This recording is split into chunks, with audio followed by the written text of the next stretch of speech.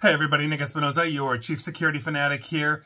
And in China news and also Apple news, how far should a US company bend for China?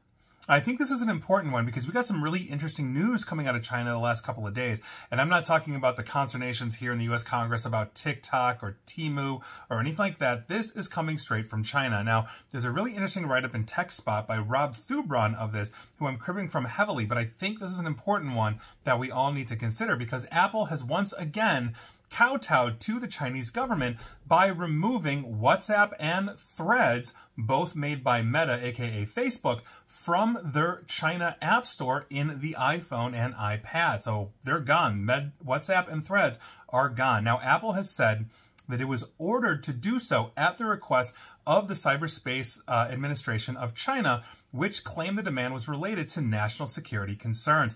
This could be in, also in part retaliation for TikTok, but that's a whole other speculation. Now, encrypted messaging apps from Telegram and Signal were also deleted from the store. Obviously, those look nothing like TikTok. Threads could be the closest thing. WhatsApp is also considered secure, although I've done videos, podcasts, and radio segments on why it's not. But Telegram and Signal are vastly more secure than any of those, and they're removing them probably because they're using heavier encryption that the Chinese government cannot see and spy on very easily. Now, while these four apps in question are only some of the many Western services and products that are blocked by China's Great Firewall. Users in China have traditionally been able to bypass those restrictions using a VPN or virtual private network. I've seen this in action as I've spent time uh, for work in Beijing on the cybersecurity side, where uh, basically those users will connect to a VPN just over the border to like Mongolia or Japan or somewhere else, and then get access to Facebook because Facebook, etc., won't natively run just simply going through through the Great Wall of uh, the Great Firewall of China. Now, other Meta apps, including Facebook, Instagram, and Messenger, are still available on Apple's App Store in China, as were YouTube and X, aka Twitter. Now, Apple said in a statement, quote, we are obligated to follow the laws in the countries we, where we operate, even when we disagree, end quote. Now, that may be technically true, but to me, that's a huge cop out when we are taking collectively all of this against the backdrop of the authoritarian enforcement of laws. And so here's why Apple's excuse is, I don't think, really passing the smell test for me. Apple iPhone sell, uh, basically the sales of uh, iPhones in China fell by about a quarter during the first six weeks of 2024, but the country, though, itself, China, remains a huge and very important market for Apple. Tim Cook, CEO of Apple, praised China just last year, about a year ago, in March of 2023, calling the relationship that China and Apple has symbiotic. And even as tensions between Beijing and Washington, D.C. keep rising, uh, Chinese Vice Premier Ding Xuexiang told Cook in October, basically last year, six months ago, that the country remained committed to its relationship with Apple. And here's the kicker of the whole thing. A report from 2021 claimed that Cook signed a secret deal in 2016 worth $275 billion with Chinese officials.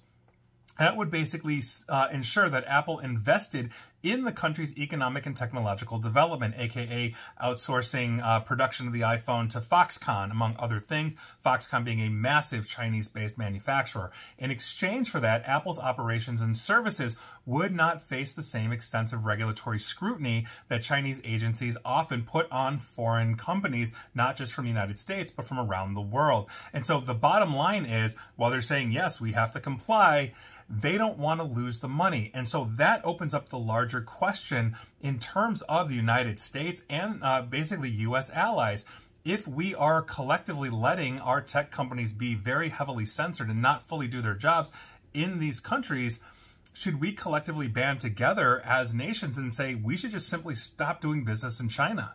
The problem is China's got over a billion people hundreds of millions of tech users. And quite frankly, the largest Apple store I've ever seen in my entire life is in the Wangfujing district down in basically almost the center of Beijing. It was like four stories tall. It was packed absolutely packed the last time I was in China. So this is not going away anytime soon.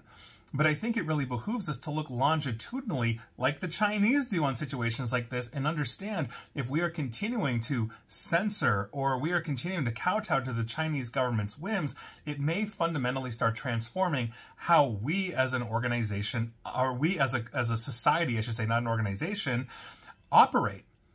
And so, should we allow that? Now, you can make the argument, well, we're trying to ban TikTok, et cetera, et cetera, but TikTok has been caught consistently through whistleblowers, through code reviews and all of that, actually sending data back to China when it's been very transparent uh, in terms of the WhatsApp, Facebook, et cetera, that these are American-based companies, that this data is going to sit there. We also have much better data privacy laws, no matter how much China, uh, China touts their GDPR-style data for their citizens, everything is data mined in China. I've done video after podcast after segment after that. So please feel free to go ahead and get on YouTube and in my channel, type in China and you'll find a lot of that. But this is a huge issue. So I leave it up to you. It may be retaliation for TikTok, but the bigger picture is we've got yet another acquiescence to the Chinese government by American companies. Look at Disney, look at all of the others that have done that. I don't think longitudinally that is in our best strategic interest, not just corporation to corporation, but as a society as whole. I'd love to hear your thoughts. And please like, share, follow me here on Facebook and Twitter at Nick AESP. And please feel free to subscribe to me at YouTube as well, where hopefully you'll never be censored unless you're in China. But as always, stay safe, stay online, and please attempt to stay private.